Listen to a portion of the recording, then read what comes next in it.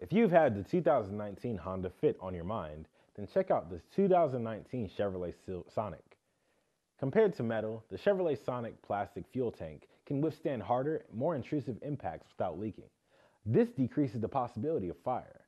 The Honda Fit has a metal gas tank, and the Chevrolet Sonic has standard OnStar, which can help track down your vehicle if it's stolen or send emergency personnel to the scene if any airbags deploy.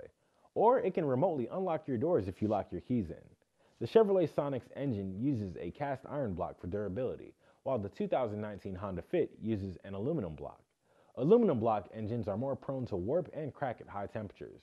There is more passenger and cargo room in the 2019 Chevrolet Sonic than the 2019 Honda Fit.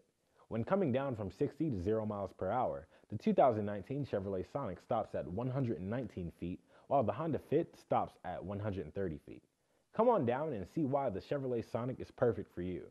This 2019 Chevrolet Sonic is covered by our free lifetime mechanical warranty for as many years and as many miles as you own it. Come on down and try it before you buy it with our free 48 hour test drive.